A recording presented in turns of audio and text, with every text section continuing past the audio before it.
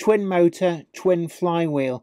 The model really does ooze perfection from every single pore. Hi there, it's so great to see you. You're looking good and welcome back to the channel. I'm Jenny Kirk, welcome you up here to the loft on Wear Yard. And today we're going big or we're going home. Well, we're not going home, we are home, but we are going big.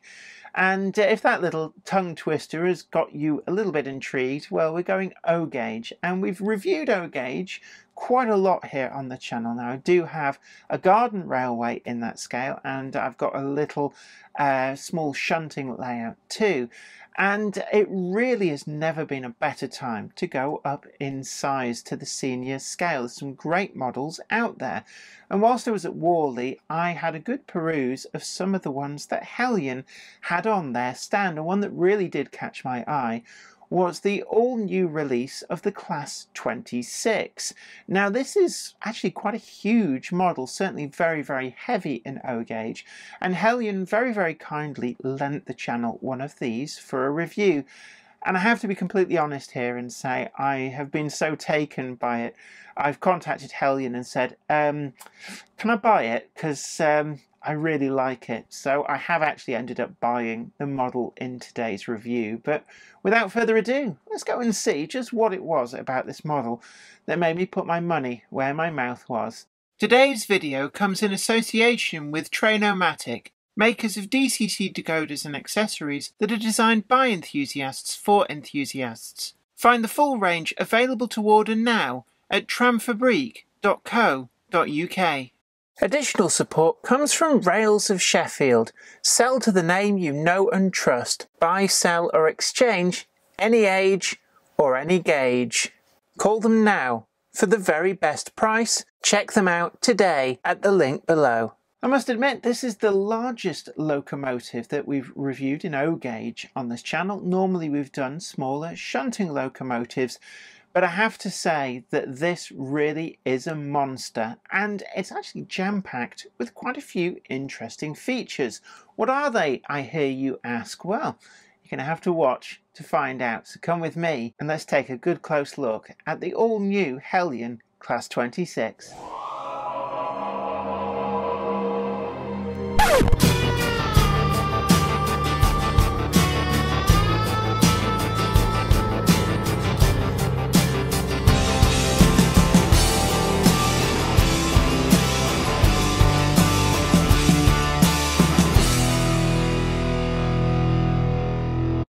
The O-Gauge Class 26 is pretty much the largest production item that I've reviewed here on the channel. And as you can see, I've wound my rostrum camera all the way up and we're still struggling to fit all of the box on camera. It's a substantial box and it has to be said that this is incredibly heavy as well. I'd wager a couple of kilograms at least. So you do get a lot of model for your money.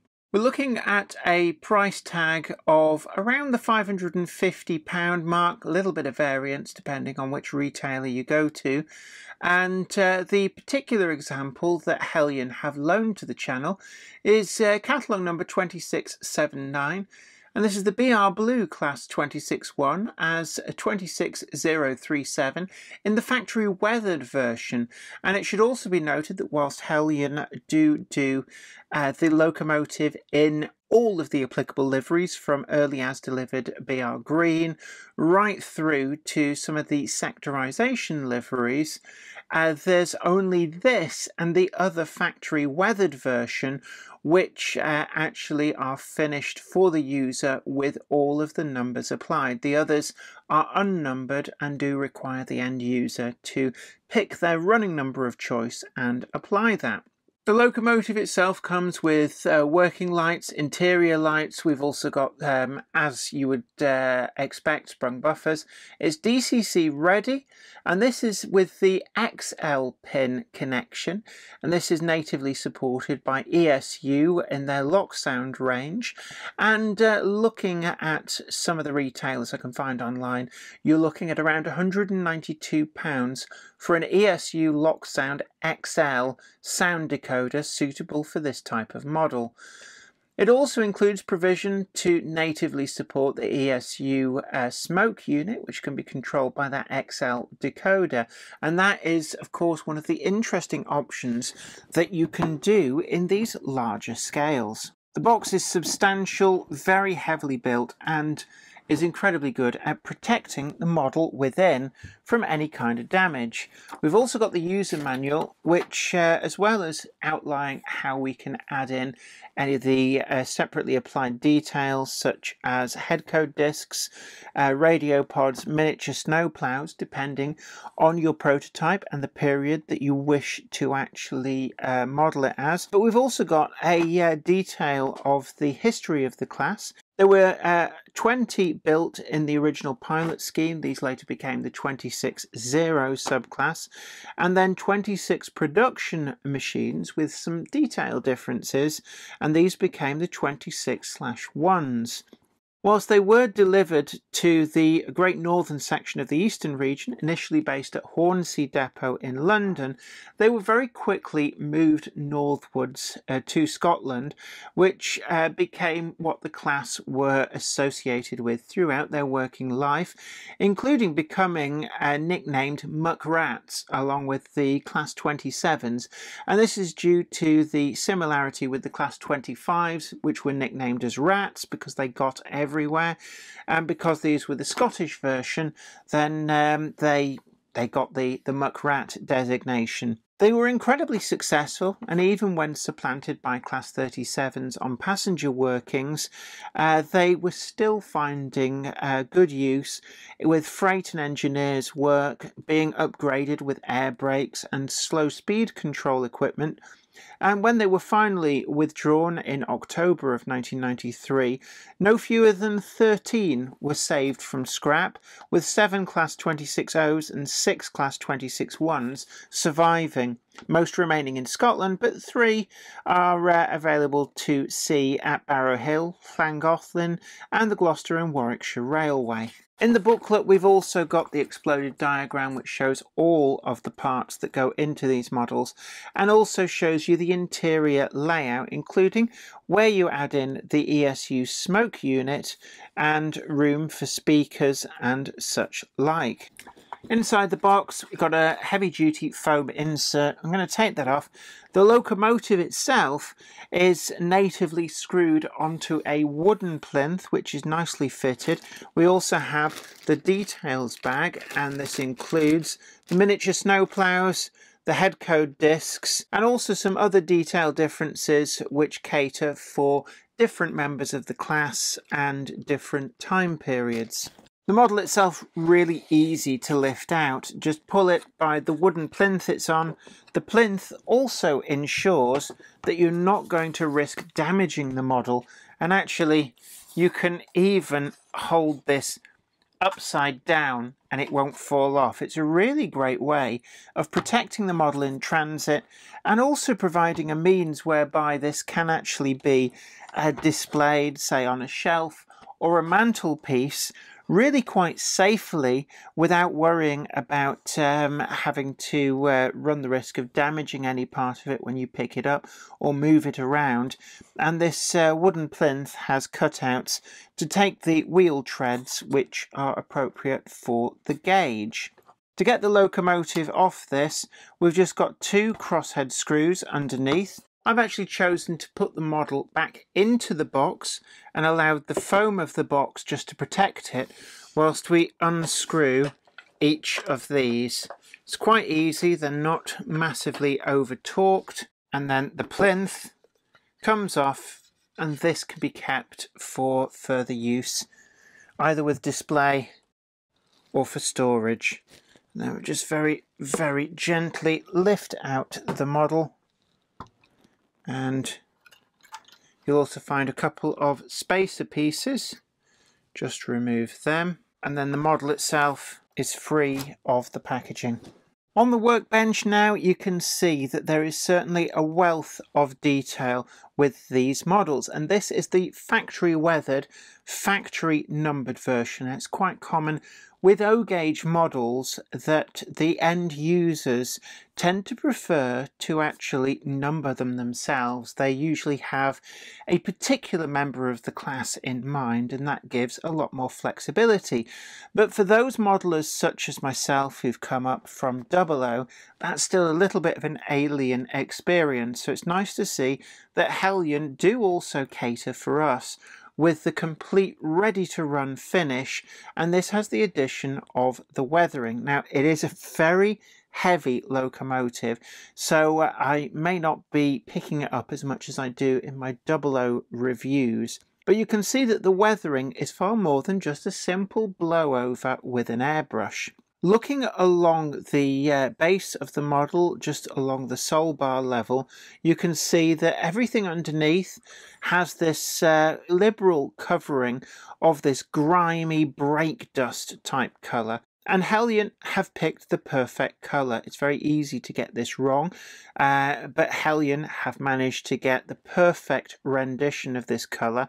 And you can see that it extends just slightly up to the lower area of the body side. We've got additional grime around these side grills and this would be prototypical where the air is uh, being moved through by the cooling groups you tend to get an extra build-up of filth and then we've got a lighter dusting over the rest of the locomotive. Looking to the front of the locomotive we've also got an additional process on there with some weathering whereby it's been brushed downwards like it's been cleaned with the passage of rain and such like. So it's not a uniform dusting but it's actually a much more prototypical finish. We can see that too if I turn the model round. Again different at both ends. One thing that we don't have is the little clean paths where the windscreen wipers would have gone across the windows. Those would need to be done by applying a mask during the weathering process, but actually it doesn't detract at all from the model and it is something that the end user can always do themselves. And certainly this is one of the better factory applied weathering finishes that I've seen from manufacturers of late and Heljan are definitely paying a lot of attention to how the weathering on real models actually looks. These side grills are particularly special for me. We've got this etched metal grill and behind it you can see the structure which is exactly as per the prototype of the locomotive giving a real sense of depth into there and it really is exquisitely detailed. The glazing is flush. The Clear plastic that is used though is a little bit on the thick side for the scale and you do from certain angles get a little bit of a prismatic effect but not too much. There is internal lighting to this model which includes engine room lights and certainly it's a nice touch which will be quite visible on a model of this size.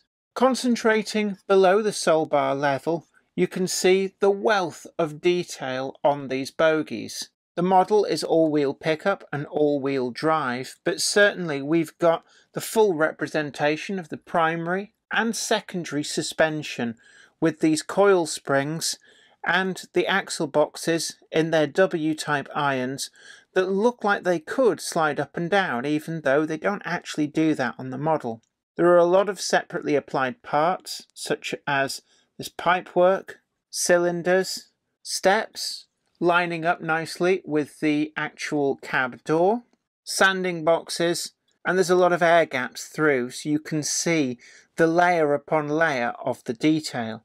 The heavy duty slab sided construction of these bogies is very much apparent, and Heljan have captured the wraparound look of the ends at both ends really, really well. The detail actually continues right back even in the areas where you can't natively see and it's this attention to detail that is really quite pleasing. Looking along the base of the model where the chassis joins with the rest of the body there is again even more detail with all of the riveting and gussets naturally picked out and again this is really important on a scale such as this where you really can see the difference. The battery boxes and fuel tanks too These are separately fitted details and include everything that you would expect to see on the real locomotives, with detail that also continues into the crack in between. And that, again, more attention to detail. You wouldn't normally see any of that, but it's there. The other bogie as well, equally as well detailed. Again, we've got the uh, cab steps lining up with the door. The buffer beam detail is all factory applied, which is very important, especially on a weathered example such as this, because it then just blends in. You can also see that some of the multiple working cables do have the appropriate colouring there, which is muted by the dirt that's applied with the weathering process, but still just about visible. The coupling itself is metal, and this is the coupling that you'll be using in O-Gauge, and surprisingly, they are quite practical. It's really, really well detailed, and certainly the locomotive is not taxed by pulling any train that you might throw at it. I am not going to be able to test this to its limit, not by a long way, but I've got every faith that this sprung loaded coupling is more than enough to be able to take the weight of any train that you wish to throw at it. The buffers are fully sprung, and that's actually quite important in O-Gauge because with the nature of coupling, the wagons and coaches do actually buffer up as per the prototype.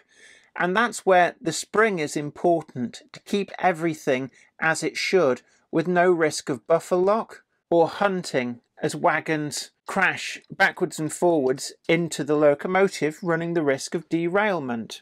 The rest of the detail on these cab fronts really is exquisite, but you can see separately applied windscreen wipers, handrails, these are metal, and all of the lighting with the holes ready to take the head code discs as per what the user wishes.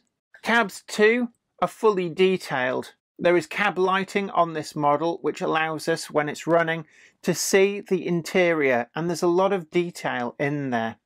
Cab doors are exactly as per prototype and with this livery we've got this wraparound yellow which was very much a feature of the classes 26, 27 and 33. Handrails are recessed, they feel like they're metal and certainly very very robust and picked out in this slightly grimy colour which sets them off so so well. The printing on the TOPS number and the TOPS data panel really is sharp and even under magnification not seeing any problems at all. There's no fuzziness. The overhead warning flashes too, crisp and sharp. Moving further back, the double arrow, no sign of blurring. And when we look closely at the yellow, we've got a very, very sharp demarcation between the yellow and the blue, which is very important, possibly more so at this scale, because you're more likely to see if anything is not as it should. The rivet detail around these grills is very pronounced, just as per the prototype. We've also got a wealth of other detail. The closer you look, the more this model gives. Body side door is moulded detail but really nicely done. It looks like a real door. And that's exactly what you would expect, but Heljan have managed to capture that perfectly. The three hinges do protrude as per the prototype, and it's actually hard to tell that they're moulded. They are incredibly well done. Looking to the roof, you can see that we've got a really great effect with this weathering. Again, it's not just a blowover. There's a lot of thought gone into how this weathering is applied. So we've got the exhaust soot. We've got cleaner patches as well. And you can see on this roof hatch, there's some of the lighter coloured paint still showing through. The exhaust port, we have this sooty finish around it that has kind of caked the entire roof.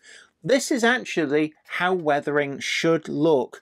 The locomotive is dirty, but not so dirty as to be unbelievable, and we can still see all of that detail. All of the lifting eyes, they look like they're separately applied. It's very difficult to tell. I think they are separately applied metal details. They're certainly very, very robust. There's a lot of separately applied bits and pieces, and then we've got the roof fan there just behind its grill. This appears to be controlled by a separate motor, so you can spin it up completely independent upon whether the locomotive is moving or not. The horns just there in the roof pod, again, separately applied and really, really sharp and crisp moulding. All in all, a superb model which really does reward close inspection because there is a lot of depth of detail here. For those modelers who may be coming up from double O, it's actually quite breathtaking just how much extra detail there is on a model of this scale. And it's heavy, really heavy. There is so much weight for adhesion in this. It is just blowing my mind. There is nothing that, that I expect this locomotive cannot pull. It really is quite staggering just how heavy this locomotive is. Moving the model onto some of the packaging foam just to ensure that we don't scratch anything. I'm just going to roll it over and I want to draw your attention to some micro switches.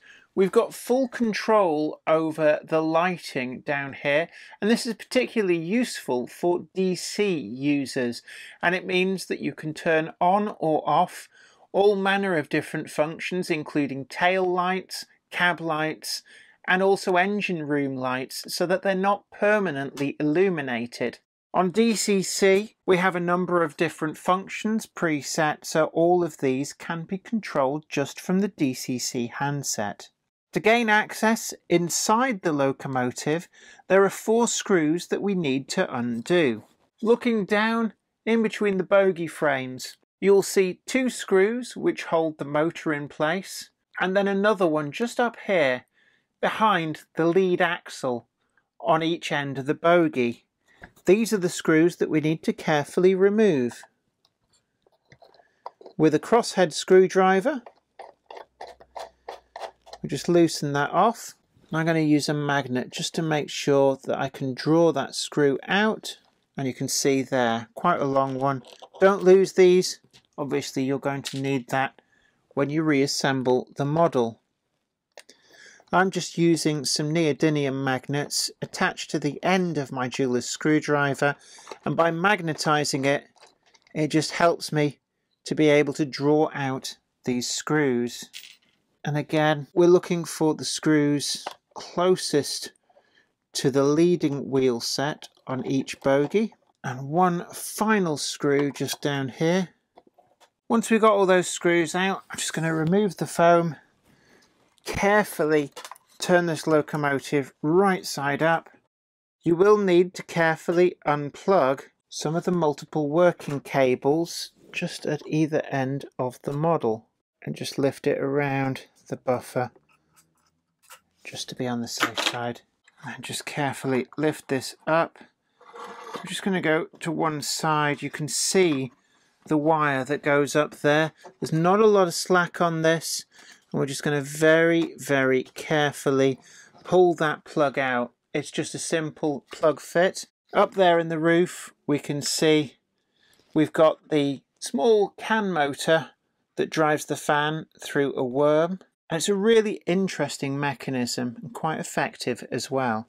These are the brass flywheels. Each of the motor bogies has its own motor and that huge heavy lump of brass ensures super smooth running at all times. This is the XL decoder socket.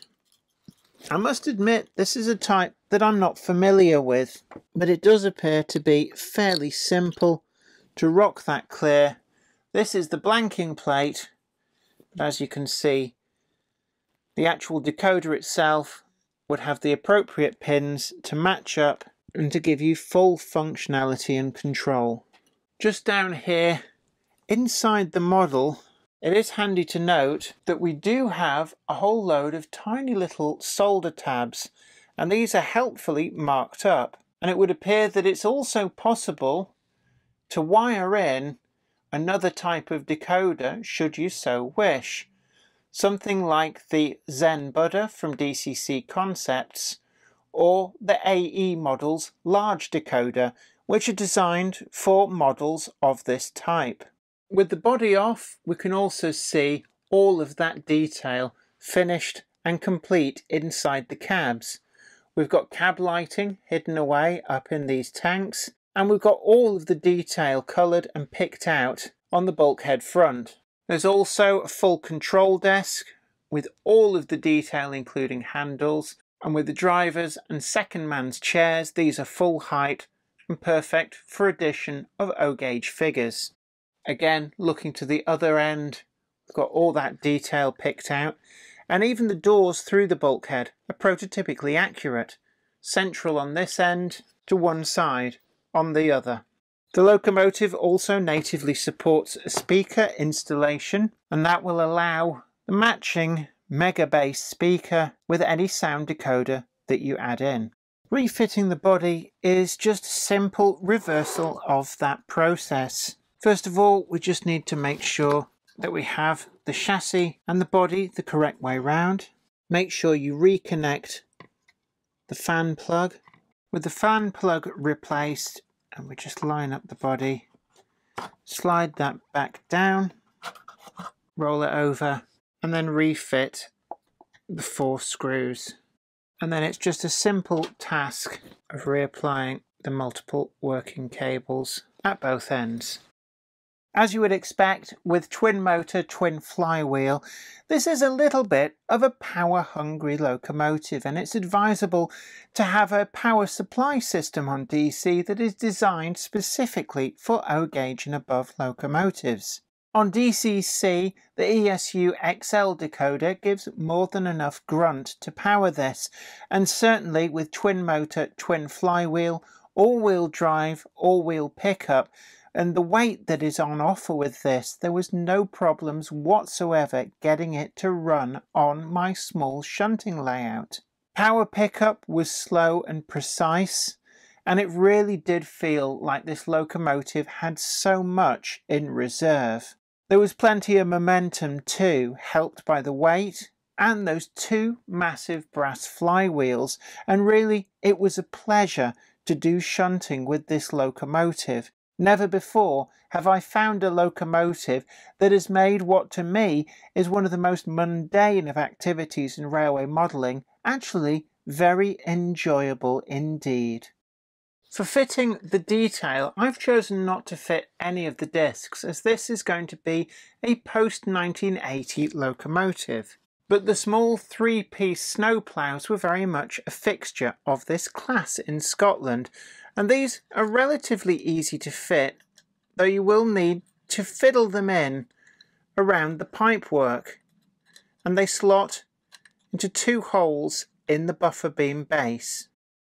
So we turn now to the scores. First up is build quality, and actually everything about this model really does feel like it's been incredibly well designed. From the choice of materials, to the amount of weight that's in it, the etched grills, and everything else besides, it really does feel that this is a quality model oozing from every orifice. If I had to fault anything, it might be that on the wheels some of the weathering hasn't quite fully covered the wheel faces, and this is probably because these were not rotated whilst the weathering was being applied. But actually, it's not a huge issue. The only other area is that some of the multiple working pipes are very prone to breaking where they have to be removed in order to get into the model, but it really is splitting hairs, and overall, I'm going to give this a 9.8. On running quality, the model performs exceptionally well. Twin motor, twin flywheel, and there's a lot of flywheel. It's a huge lump of brass, meaning that this locomotive is not short of power and is not short of torque. It glides gracefully, and there's a real feeling of both momentum and a lot of power in reserve. In this area, there's nothing to fault, and I give it the full 10 out of 10. On DCC fitting and innovation, I really like the rooftop fan, driven by a separate small motor. And if you've got a DCC decoder that can deal with this, such as the ESU XL, then it really is a nice feature. Whereby the fan can be spun up and spun down in accordance with the heat cycle and in conjunction with any sound files completely independently of the locomotive actually moving. It's a great feature. And coupled with this, we've got a full suite of lighting options making the absolute most of all that DCC can offer. If I had to pick fault, it's probably that the ESU XL decoder interface is a little bit specialist. I couldn't find any non-sound versions and you might be saying, well, with a locomotive this special, why wouldn't you want to fit sound?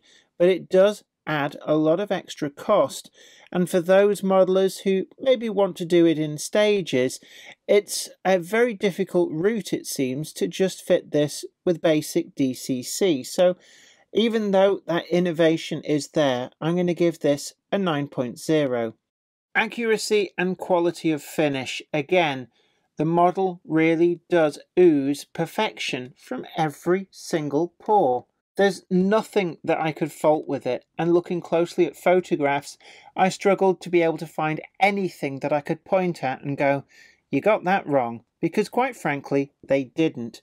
So I'm going to give this a 10 out of 10.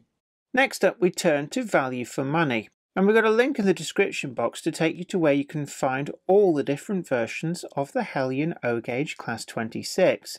It costs £550 approximately for the unweathered versions and approximately £568 for the weathered versions such as the one that you've seen in this review. Now you might think that that's just a little bit expensive and I'm going to stop you on that train of thought right now because quite apart from the fact that this is O gauge you do get a huge amount of locomotive for your money. The detail is incredible there is far, far more detail than you could ever expect in even the most sublime of double O models. And when you think that the double O models are already pushing around £300 for the spec that we've got inside this, then actually you're not paying much more than that for something that really is quite special. From its three motor design two on the transmission with massive brass flywheels, and a further third to control independently that rooftop fan underneath the grille, there really is a lot going on. So I'm going to give this a 9.1, and that gives us a final score of an incredibly respectable 47.9. The model has been loaned by Heljan, but actually it's won me over and even before I finished filming this video, I contacted Heljan and said, can I buy it? I actually really do like it, so I've bought this model and very firmly put my money where my mouth is, so this will become a permanent part of my collection. And you know what? There's no regrets on that. This really is a superb model at a really good price. I hope you really enjoyed today's video and we've got a link in the description box down below. It takes you to Rails of Sheffield to help you find one of the Class 26s from Heljan in O-Gauge if it really tickles your fancy and they've got them in a number of different liveries from their original as delivered green right through to some of the sectorization liveries uh, to suit a model right through to the very twilight of their existence on British Rail in the early 1990s. Please tickle that like button, share this video, subscribe to the channel too uh, to be the first to know about new videos as and when they go up. You can also head on over to Patreon and from as little as $1 a month there are great many different tiers of rewards to help the channel to keep making the videos that you want to see. And uh, we got a link down below as well to our exclusive Monday Club Wagon Commission, which is uh, expected in the new year 2023. So get your orders in quick. It is selling really, really well and is sure to sell out in no time at all. But until next time, this is me, Jenny Kirk, saying you take great care of yourself. Happy modelling. Bye for now. Today's video is sponsored by Train-O-Matic, makers of DCC decoders designed to be fully compatible with every manufacturer's locomotive. Visit train-o-matic.com to browse the full range and see what they've got suitable for you. Additional support comes from Rails of Sheffield. Sell to the name you know and trust. Family run business purchasing collections for over 50 years. From single items to lifetime collections, no collection is too small or too big. Buy, sell, or exchange any age or any gauge. Rails will take everything locos, coaches, wagons, track work, controllers, accessories. In fact, they'll take absolutely everything and certainly will not cherry pick the best items. Rails are only a phone call away. Call them now for the very best price and get instant cash payment or same day transfer. Check them out today at the link below. I'd like to send out a huge thanks to everybody who supports me on Patreon. And an extra special huge thanks goes out to Anthony Kidson, Offshore Allen, Michael Lockie, Helen Sink, Gary Lewis, David Quinn, Sparky 107107, George Botterini, Chris Moss, Robert Steers, Sam Yates, Dale Williams, John N from NC, NYMRish, Jonathan Foster, Peter, Clifford Ison, Larry W. Grant, NI Railways 4000 class, Ian Coulson, Alan Dickerson, Eddie Popper, Karen Nicol, Medwin Williams, Crossways Point Junction, 3B Rail, Jennifer Horton, and James Beckett. Thank you. Without you guys, I couldn't do this.